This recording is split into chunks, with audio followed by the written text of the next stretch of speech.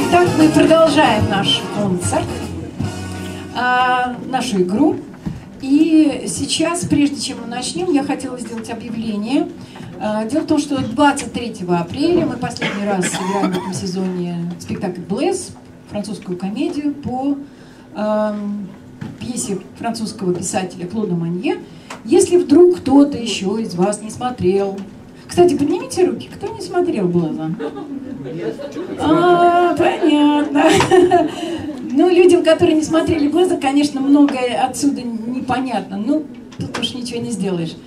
А, приходите, билеты еще есть, они, правда, быстро расходятся, э, середина уже занята, но еще какие-то билеты есть. Если у вас будет желание, к Светлане, вот, пожалуйста, обращайтесь, приходите, это будет тоже весело.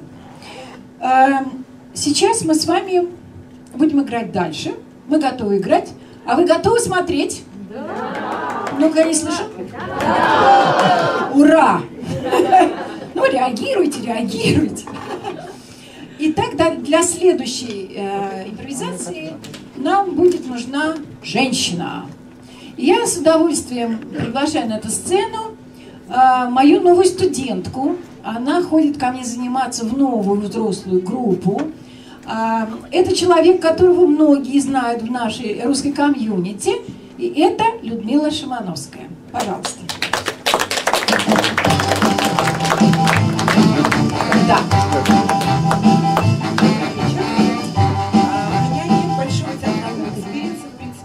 раз пошла вот э, во взрослую группу театрального коллектива и не пожалела об этом.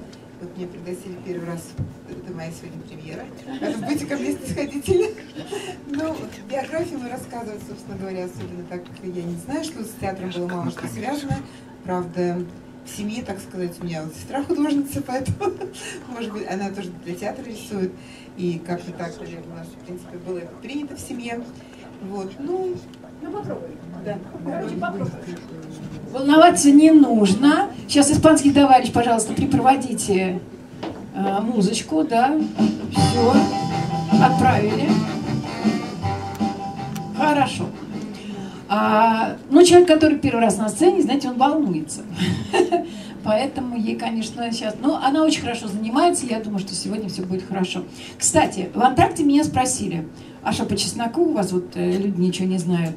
Ребят, по-честному абсолютно играем. Люди, которые приходят сейчас, входящие на импровизацию, они не знают, про что там, они не знают, что и как. Совершенно честное слово, абсолютно. Так, э, следующая импровизация посвящена одному из очень важных героев, вернее, героинь э, спектакля «Блесс». А, когда там приходит Мария, если вы помните, я все время говорила, тетечка запрещает, тетечка не разрешает, тетечка там не дает. Помните, да? Если помните. Вот сейчас в пародии было у нас дядечка не разрешает. Ну, мы просто спародировали, решили дядечку. Так вот, мы решили представить. А тетечка сама в спектакле ни разу не появляется. А вот сегодня мы решили представить, какая она может быть, вот эта самая тетечка. А, и еще, когда вы приходите на спектакль, и сегодня тоже, кто вас встретил? Кто? Кто не разговаривал? Девочки мимы, да? Когда вы приходили к нам на спектакль, у мимов была очень большая там работа, нагрузка, и они там везде работали, все. И вот сейчас вы с ними опять встретитесь, но они будут немножко в другом качестве. Итак, наша импровизация называется «Здравствуйте, я ваша тетя». En premier temps de la valse, toute seule te souris déjà. En premier temps de la je suis seule, mais je te perçois. Paris qui bat la mesure, Paris qui mesure notre moi, et Paris qui bat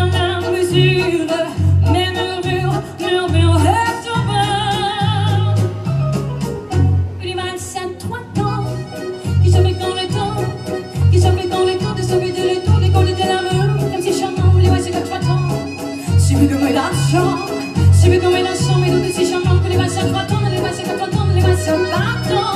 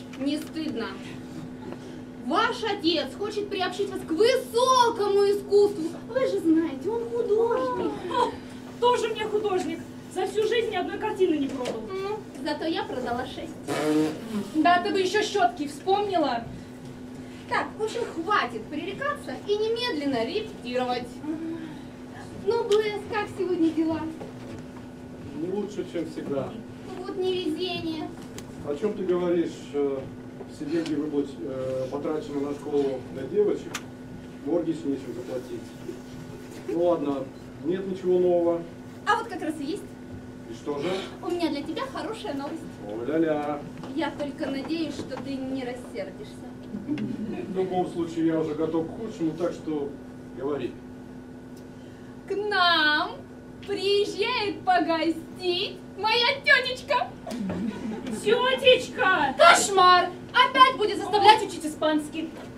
Девочки, не смейте так говорить о тетечке. Да если бы она в свое время не написала мне рекомендательное письмо, вас бы вообще на свете не было. Какое еще письмо? Он вообще говорил, что ты работала по вызову. Ты с ума сошла? Да говорил, говорил, я слышала. Да. Это совсем не то, что я говорил. Я говорил, что маму прислали из бюро по найму, как прислугу для черной работы. А совсем не то, что они тут удумали. Девочки, начинайте репетировать этюд. А мы с папой поедем на вокзал встречать тетечку. Поехали, дорогой. Поехали. Репетировать. Давай, включай музыку. О, première, dans le lavance, tout est seul, te souris déjà. En premier temps de la je suis seul, mais je te perçois.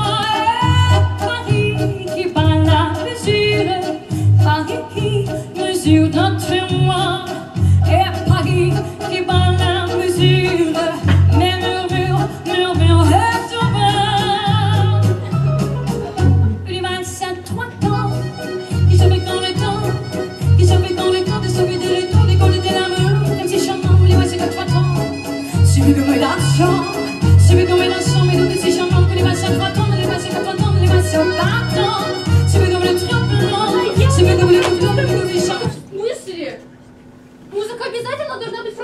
Это еще почему? Мимо еще могут быть итальянские. Мы же во Франции. Ну и что, мы во Франции, а мимо из Италии. Да глупость какая! Почему это глупость? Да у кого хочешь спросить? Давай спросим. Давай у кого? Никого здесь нет. Нужен третий персонаж. Ну где же только взять этого третьего?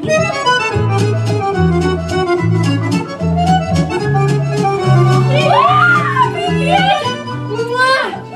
Погоди, ну давай. давай. Ой, как хорошо, что ты приехала. Ну, а как доехала? Неплохо так доехала. Вот, так, послушай, нам очень нужна твоя помощь. Да. Видишь, мы тут этюд репетируем, но он у нас как-то пока не очень получается. Да. Поможешь? С удовольствием. О, отлично. Ну, мы изображаем мимов. Я считаю, Что музыка обязательно должна быть французская. А Калет говорит, что итальянская тоже подойдет.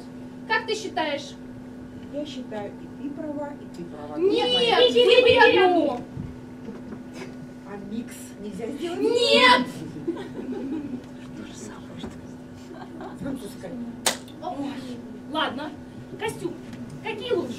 Яркие, разноцветные или строгие черно-белые? Какие ты хоть хотела костюмы? Вот, вот эти яркие. Яркие разноцветные. Вот, я же говорила так. Надевай. Вот. Ну, тогда нужно какую-нибудь смешную реплику в этюд ставить. Да ты чего? Мимы не разговаривают, на то они и мимы. Они мимы, они немы. Могут и поговорить. Ну я не могу, ты ей хотя бы скажи, что мимы не разговаривают. Скажи. А, реплику можно? Нет, нет, так, все, я решила. Мимы не разговаривают. Так, ой, давайте попробуем наш первый этюд. Вот, давай. Так, на, смотри. Представь себе, что ты официантка. Я буду поваром. А я буду посетитель в ресторане. Помни, что у нас это все без слов. Да, Сейчас я дам разговаривать только. Ты официант. Вот твой поднос, Всё. официантка. Кто? Так. Все, начинаем. Thank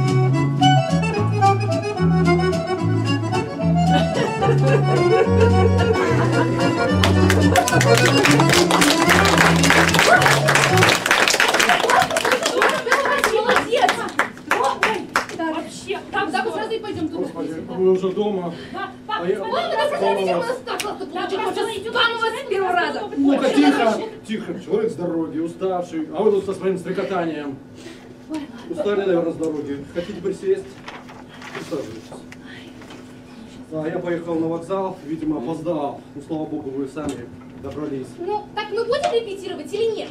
Нет, идите пока к себе, мы хотим спокойно поговорить. Валет, неси все. Да, давненько вы не были в наших краях. Помните нашу последнюю встречу? Знаете, я тоже слегка припоминаю. А, э, Мы слышали какие-то новости про Гастона. Что случилось с Гастоном?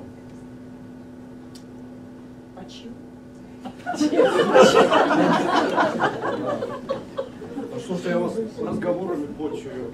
Не хотите аперитивчика, чтобы прийти в себя с дороги? Сейчас, посмотрим. А вот как ты считаешь, если молодой человек после вечеринки приглашает меня к себе домой, насколько прилично молодой девушке оставаться наедине с мужчиной в его холостяцкой квартире? Я считаю, что молодой девушке вообще неприлично оставаться с молодым человеком в его холостяцкой квартире. Правильно, я говорю, еще рано задавать такие вопросы. Я, между прочим, уже совершеннолетняя. Ну, а я считаю, что перед тем, как выйти замуж за мужчину, нужно сперва узнать его анатомию. Вот. Ну, а ты встречалась с мальчиками? Когда? Встречалась? Когда не хотят. Дело? А сейчас, а сейчас встречаешься? С мальчиком? А сейчас с кем-нибудь встречаешься? Бабушками? Расскажи нам что-нибудь интересное. Скажи.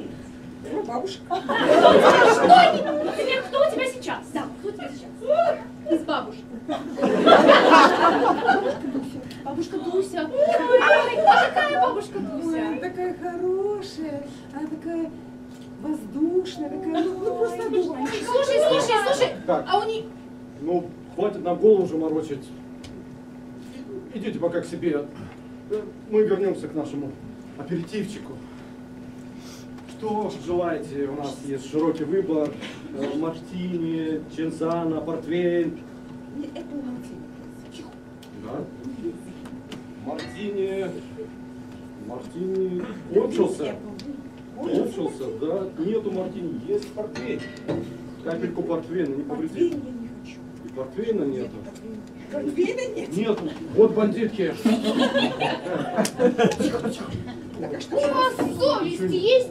Я там бегаю по перрону, схожу с ума, нервничаю, а они сидят тут спокойненько вино попивают. Ну, мы хотели отметить нашу встречу. Вот за обедом и отметим. А мне сходить на рынок? Не надо никуда идти, я заказала пиццу, ее доставят через полчаса. Ура, пицца! Стоп, стоп, стоп, поцелуйте тетечку и Маши руки. Я первая! Буэна Тия, Киталь. Она спрашивает, как ваши дела, тетечка. Буэнетира как это? Тема сочета де менс. Деменес, А деменес. Она спросила, соскучились ли вы? А что это ты взялся переводить? Тетечка, между прочим, знает испанский не хуже тебя. Правда же, тетечка?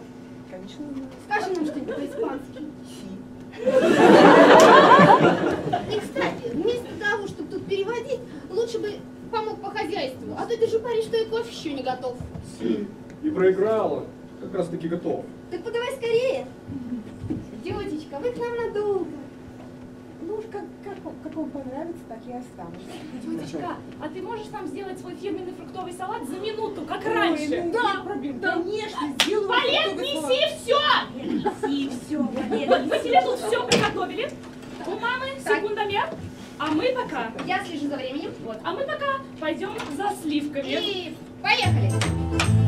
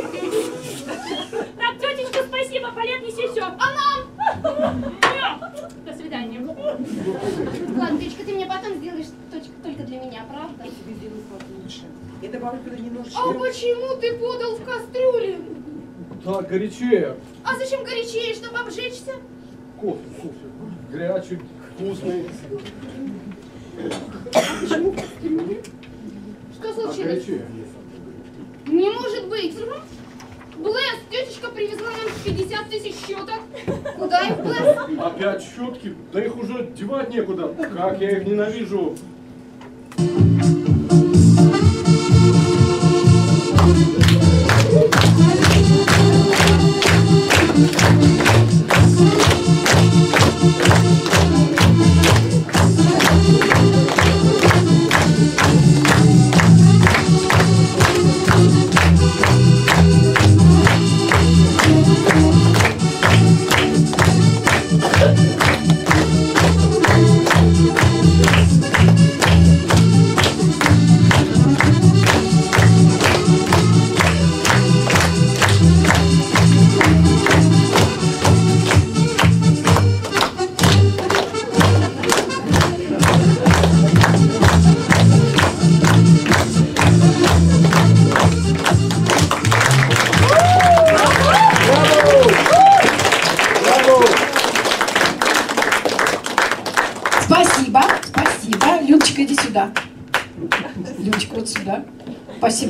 Мне кажется, хорошо справилась, правда?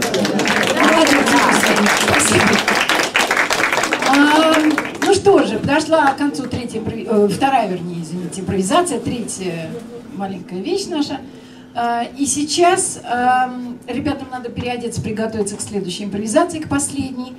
Вот. А на эту сцену я хочу пригласить э, очень хорошего нашего актера, э, автора многих наших спектаклей, талантливого писателя-юмориста, э, просто талантливого, любимого нашего человека Вахтанга Камладзе. Пожалуйста.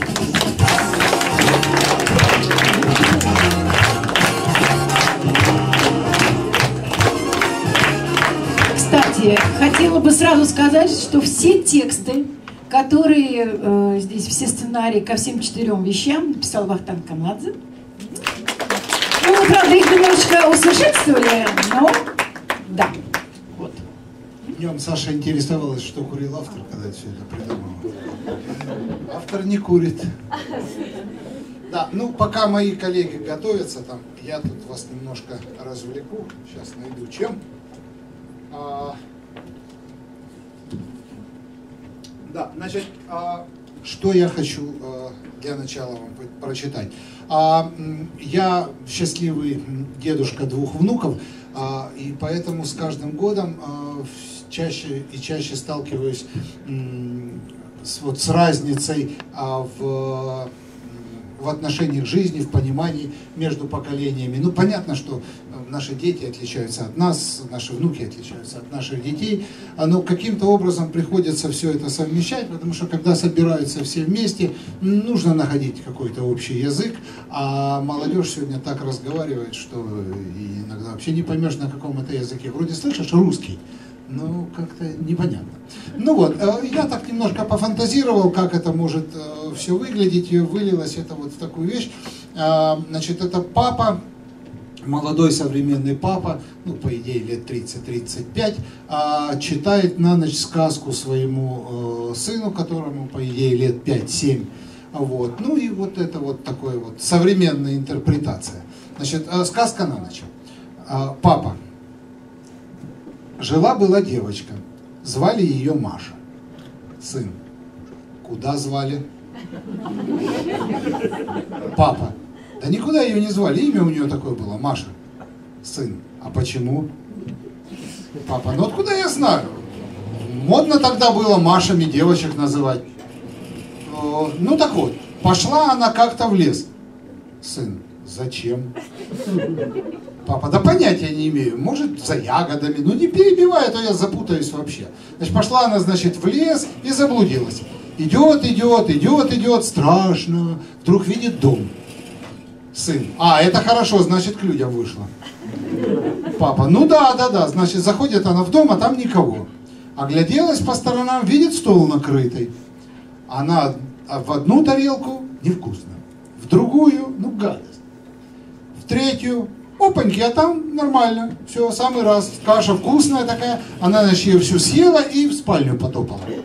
А нет, подожди. Сначала она на стульях начала качаться.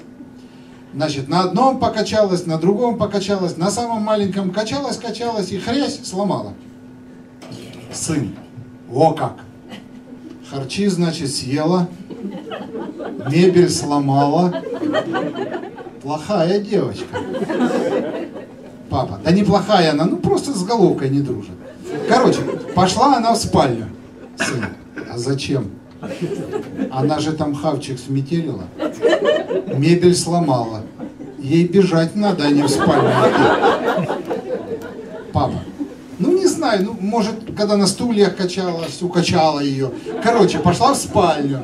На одной кровати повалялась неудобно, на другой повалялась тоже неудобно.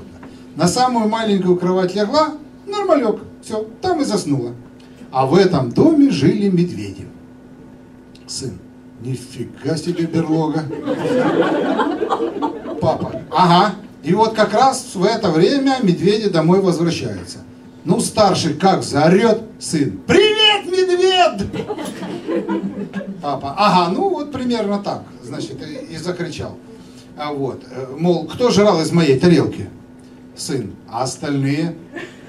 Папа, ну второй медведь, тот, что поменьше, тоже давай орать. Сын опять. Привет, медведь! Да нет, нет, ну, ну топ, тоже возмущается. Сын, а третий чего?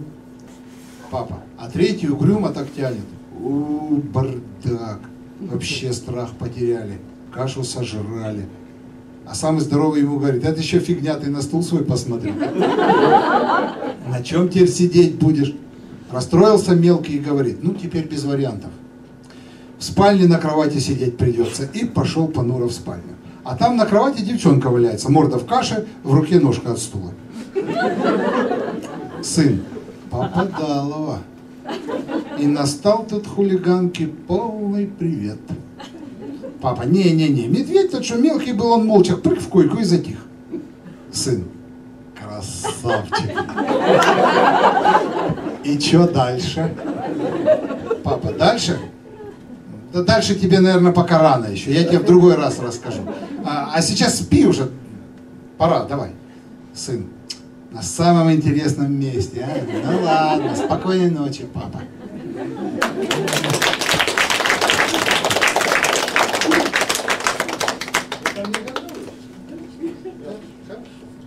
А я просто хочу с вами тут поделиться одним таким наблюдением интересным.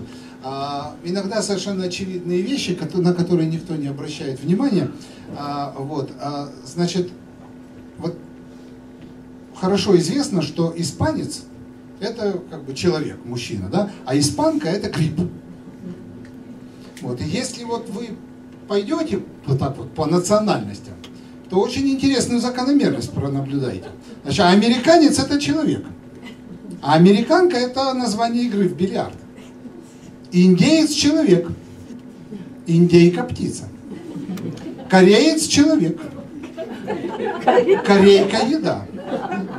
Болгарин человек. А болгарка, ну, мужчина знает, это инструмент. Фин человек. Финка, правильно, финка нож, да. Вот поляк человек, а полька танец. Турок человек, а турка это посуда, в которой варят кофе, да. Вот. А голландец это человек, а голландка это печка. Ну, венгр человек, а венгерка это сорт сливы. Вот. Ну, молдаванин человек. Молдаванка район в Одессе. Ну, про чехов и вьетнамцев понятно, да? Чех и вьетнамец это мужчина, а чешки и вьетнамки это понятно. Вот, есть исключения, есть исключения. Значит, а москвич неожиданно человек, вернее, сори, москвичка человек, да, неожиданно, все были наоборот. А москвич это вот машина, ну, ну вот это ведро, которое они называют машиной. Да, вот, но на самом деле самое большое неожиданное исключение то, что еврей и еврейка оба, оба люди.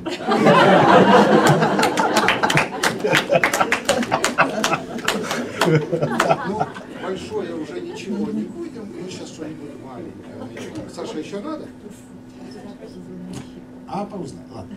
А внучка жалуется, а мне дедушка мороженое не покупает, чтоб, чтоб я не простудился.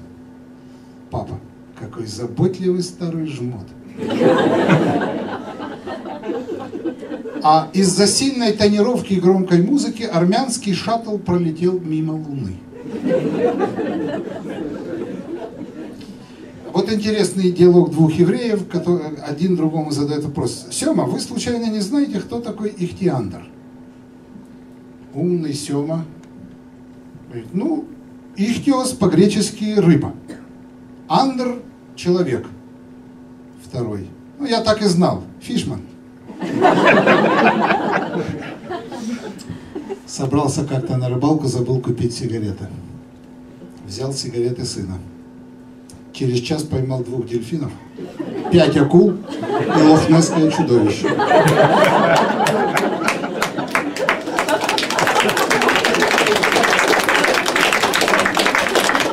Напоследок просто анекдот. Да? Значит, а, английский лорд приходит в гости к своему другу, дверь открывает дворецкий. А, значит, лорд говорит, здравствуйте, Джек, я бы хотел увидеть мистера Джонсона. Дворецкий, это невозможно, сэр, мистер, Джон- мистер Джонсон уехал на похороны.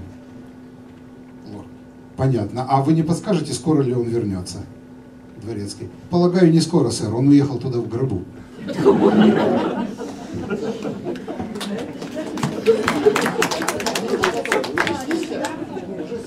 А, Они уже посвистывают, понятно. Дельфины наши. Ага, ну хорошо, спасибо, Ахтанг. А, И вот пришло время нашей последней импровизации. Я хочу пригласить на эту сцену еще одного входящего, которого вы отобрали заранее, но он не в курсе, что он будет, естественно, делать. Это Борис. А, Его многие знают как Борис Вероника. Где Борис? Пожалуйста.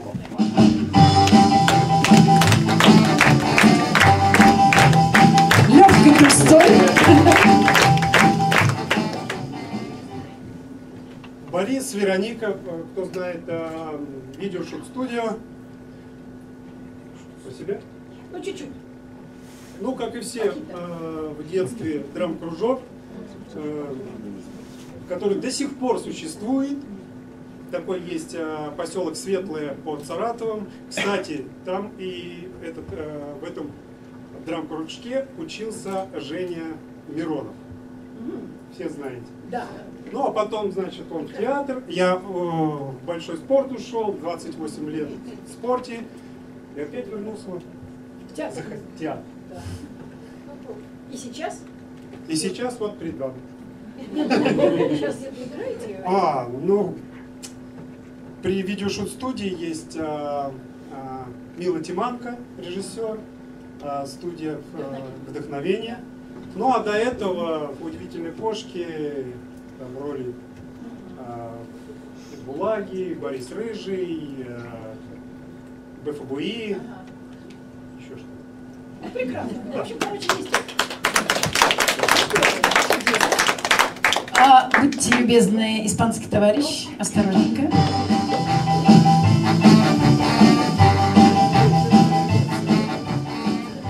А, итак, мы начинаем нашу последнюю импровизацию. Ну и думали мы, думали, и наши фантазии очень далеко уехали. И, Если честно, вот тут уже говорил Вахтанг, что... Повторяю, я не курил. Да ты-то не курил, нас куда-то занесло, непонятно. Короче, действие спектакля «Блэс» происходит во Франции, 60 60-е годы.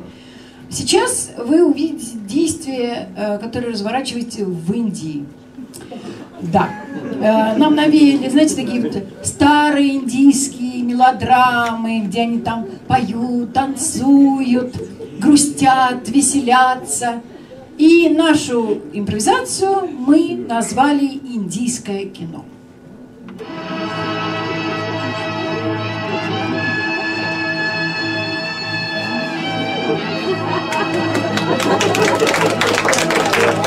Алишма,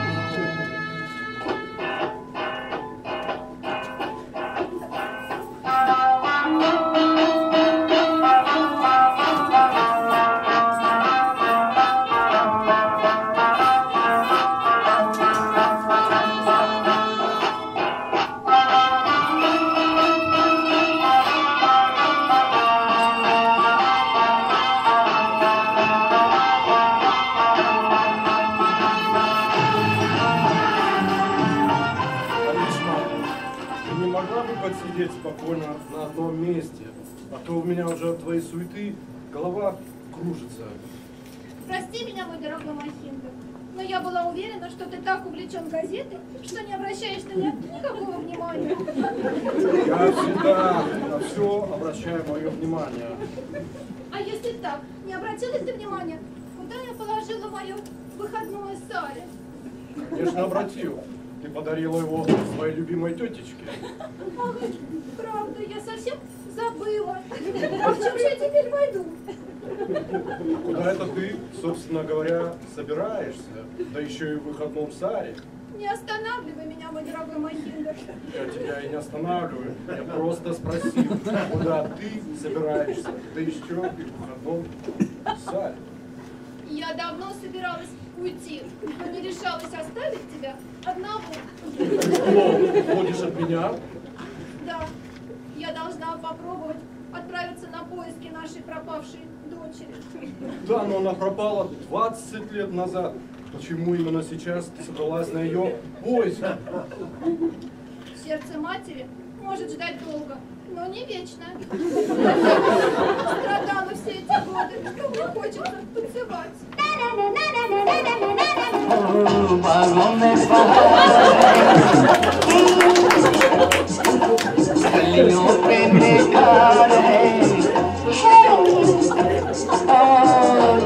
मुझसे प्यार है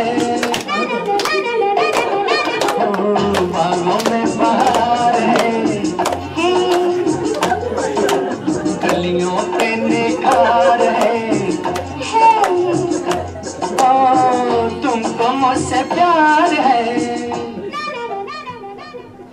Что ты, что ты знаешь о страданиях женщина? С тех пор, как воды Ганга унесли нашу малышку, Я ни на секунду не сомкнул глаз. Шесть лет я не ел, не пил. Я молил Вишну вернуть нам нашу малышку, но боги только отвернулись от нас. И мне оставалось только танцевать.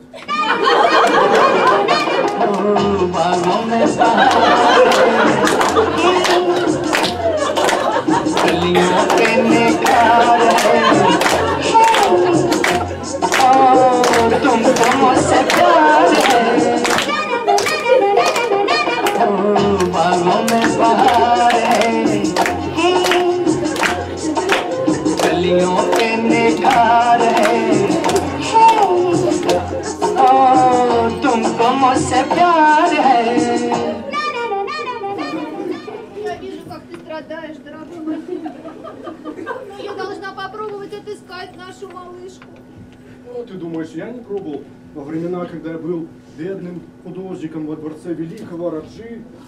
Я спрашивал всех, кого только не встречал, не видели ли они нашу малышку. Но они только печально танцевали в ответ. Как же я останусь один? Ведь я уже не молод, и мне не справиться со всеми домашними делами. Не переживай, я обо всем позаботилась. Тебе пришлют помощницу из бюро по найму, и она поможет тебе по хозяйству. Это хорошо. Надеюсь, на стол она накрывать умеет? Конечно. Бюро сказали, что она даже умеет считать до 12. Хорошо, иначе как же она сможет разложить устрицы по тарелкам, по дюжине на каждую? Я слышу чьи-то шаги. Это, наверное, она.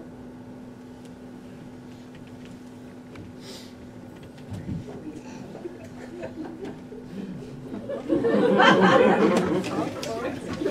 вас прислали из бюро по найму? И по найму. А что же вы умеете делать? Много. По секрету скажу, я режиссер. Да ты, ты что, ты с ума сошла? Это же наш великий Раджа.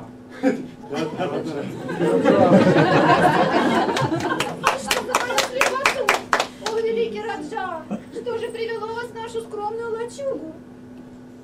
Бизнес. Великий Раджа, наверное, вспомнил о своем бедном художнике и решил заказать портрет своей любимой жены в рост. Какой бедный. Ну, Это большая честь для нас, Раджа. Ты согласен, Махинда? Конечно, помню, 20 лет назад я уже начинал рисовать портрет любимой жены великого Раджи. Но великий Раджа внезапно отправил свою жену во А Францию. при чем я-то здесь? Вы отправили свою жену в Бретонь. Луинес Мейнде. Да, да, кажется так. Правда, великий Раджа?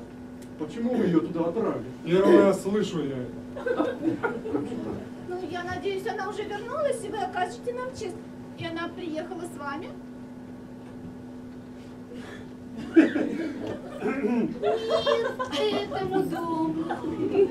Как она прекрасна. Дому дому. Какой мир дому? Один туалет здесь только. Мол- Наверное, ее любите очень.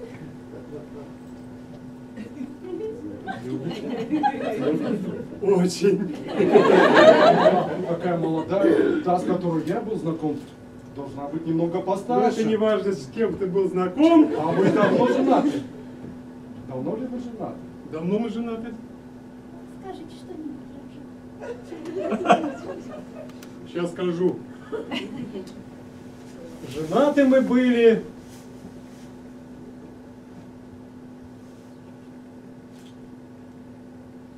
Не в моей праве говорить что-то.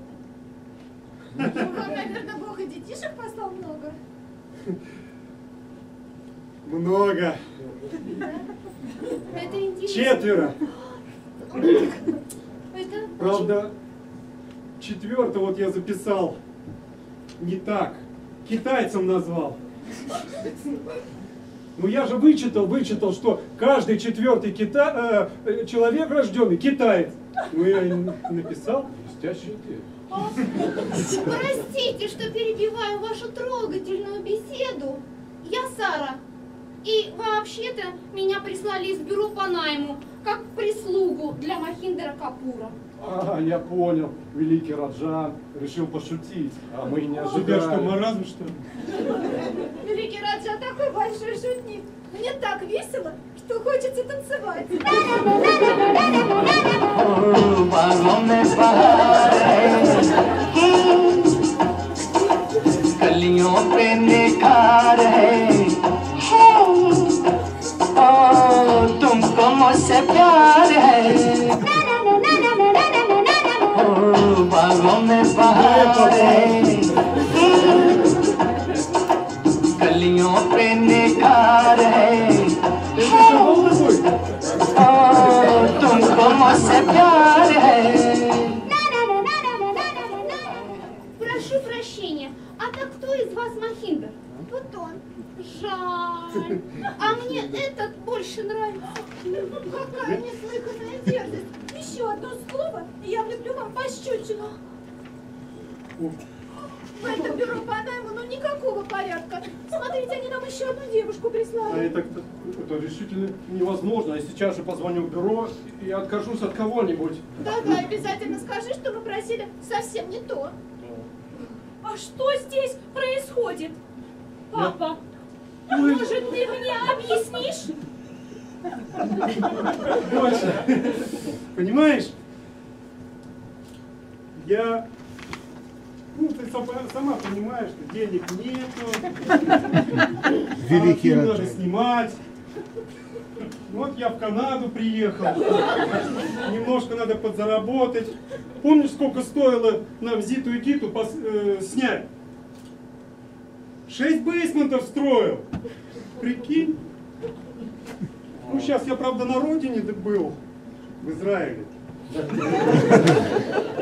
Мимо проезжал. Ну, Я понял, я понял. Великий Раджа сегодня опять пошутил. Он просто в ударе. я никогда не шучу. Но мне почему-то не до шуток. Папа, что мы делаем в доме у этих нищебродов? Правильно, правильно. И туалет один. Отец приехал заказать портрет моего мужа. Чей? Мой? Нет, вашей матушки. А меня зачем притащили? Я что, зря своего любимого слона сюда гнала? А, я так сердита, что мне хочется танцевать. Папа, потанцуй со мной!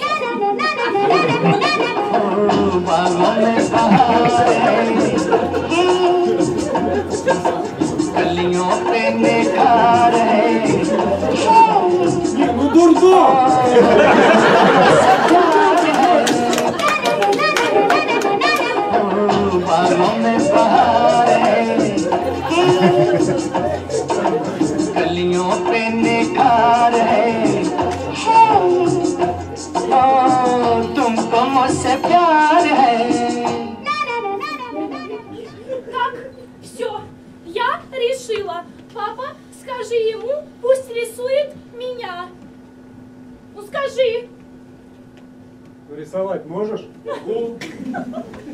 Скажи мне, как художник, художник. Как ты хочешь, доча? Сидя, стоя, лежа. Ну а как? ну, Ты по-всякому умеешь. мне нужно, чтобы позировали. Папа, а что такое позировать? Позировать? Что, что такое позировать? Вы станете передо мной. Я нарисую с вас картину. А, хорошо. Я знаю, я знаю, как это. Вам нужно будет раздеться в спальне. Раздеться в спальне? Ну точно, я думал, сумасшедший тут. Это почти как у доктора. Можно это и так понимать. Папа, можно я разденусь в спальне? Пожалуйста. Доча, у меня столько денег нет. Они, вы не волнуйтесь, вы не волнуйтесь. Они смотрят на нас только глазами художников. Чаще всего да. Ну, судя по вашим словам, вы уже позировали. О, самую малость. Я работала у одного художника. Если великий Раджа... Хорошо, что у одного. Если великий Раджа не против, мы можем начать. Пройдемте в спальню, там освещение лучше. Хотите, я пойду с вами и помогу вам. Да, пожалуйста.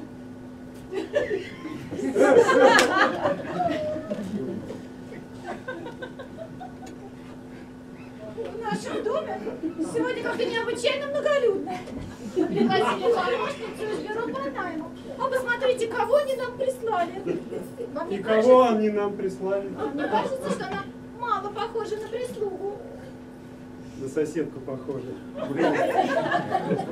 И кажется, кухарка из нее никудышная. Муж у ней русский был. Он все ей тер, тер, полгода тер. Кухарка, Ну им повезло. Что за Машину бред выиграли. вы тут несете? Что за бред вы тут несете? А, любимый Раджа опять что-то курил. Курил. Ну что же вы такое говорите, великий Раджа? Усмирите эту курил. детскую нахалку.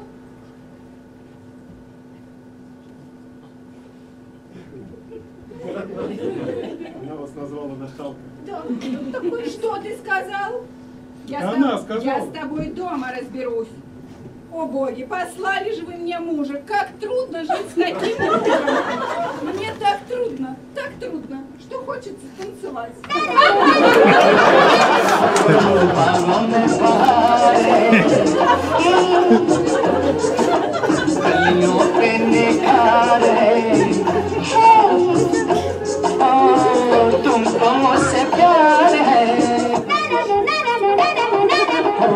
ओ, बागों में बहार है गलियों पे निखार है ओ, तुमको मुझसे प्यार है Хватит, он уже там наверное, нарисовал. Вы сказали мужа? Да, я Зара, жена вот этого вот Раджи. Я поняла, Великий Раджа опять пошутил. Великий Раджа такой большой шутник. Я знаю.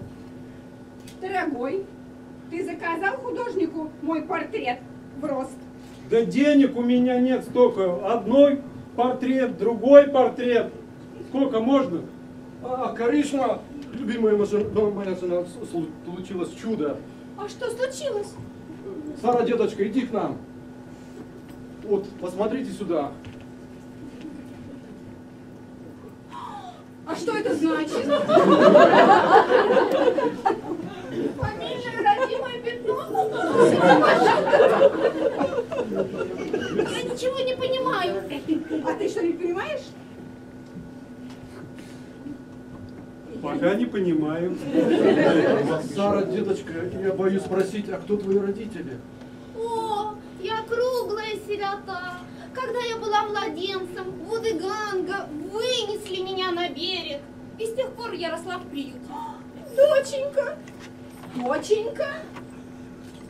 Да, воды Ганга вернули нам нашу дочку, которую мы потеряли 20 лет назад.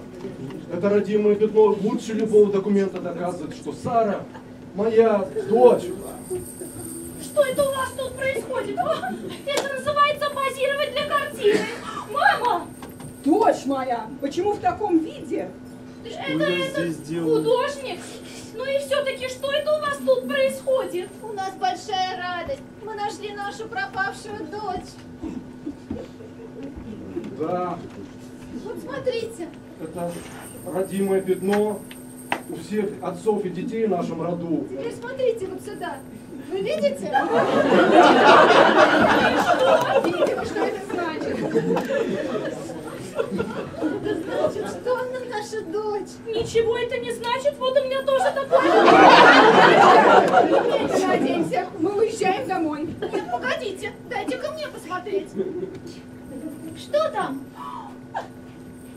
Пятна абсолютно одинаковые.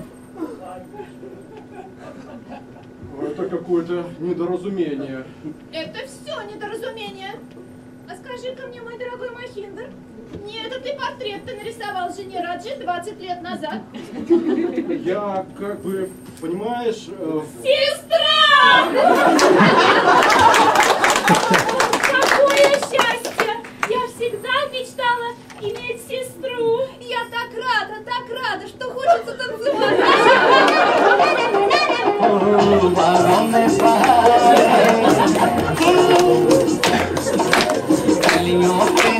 Saturday. Oh, oh, don't go,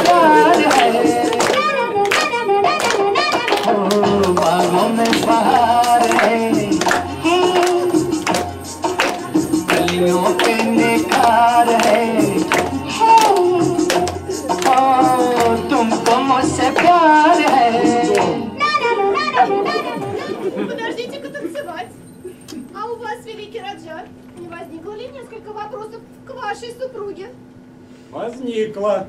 Дорогой, это совершенно не то, что ты подумал. Не Я к этой. Дома все объясню. Как хорошо, что мы теперь одна большая, дружная индийская семья. Дружная индийская семья. Ну, Махиндр, ты у меня сейчас попляшешь. Нет, нет. Во все, все, танцуют все.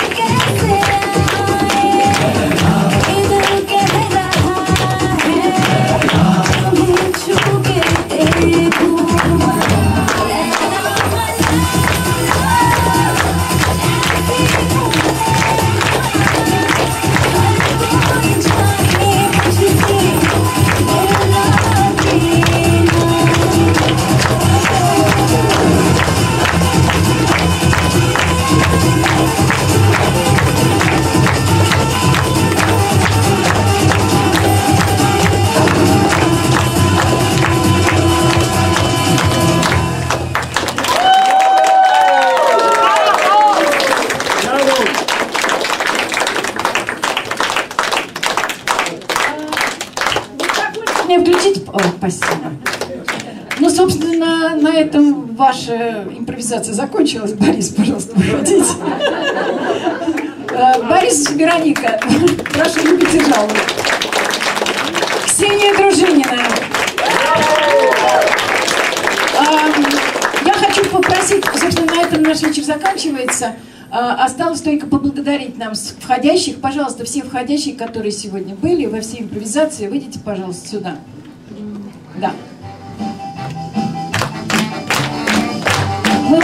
Мы вас очень мучили, и поэтому хотим вам заплатить.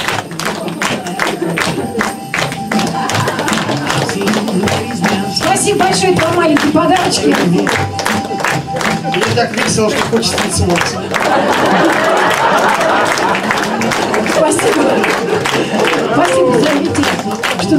Можно заплачу за рисунок? Берите так, берите так. Все, спасибо большое, займите свои места. Я попрошу выйти сюда на эту сцену всех, э, кто сегодня для вас сыграл, всех наших артистов. Эм, Выйдите, пожалуйста, ну поближе. Что же вы там жметесь-то к этому слону? А, Ле- Леночка, где у нас? Вахтанг, Лена, Катя. Итак, для вас сегодня играли Катя Мунк,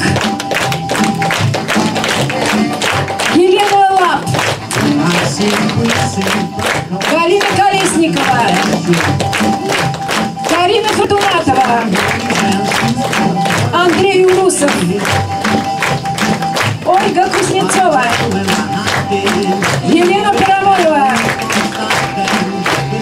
Ксения Дружинина,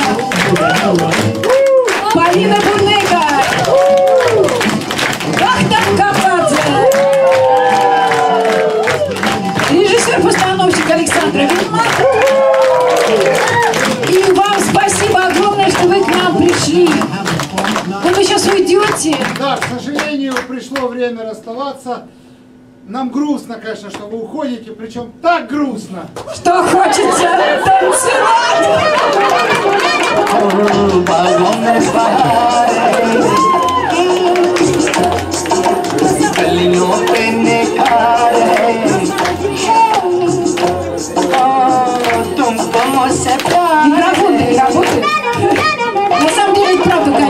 Все, спасибо большое. Ждем вас в нашем театре, на других выпусках колоссальных, на наших спектаклях.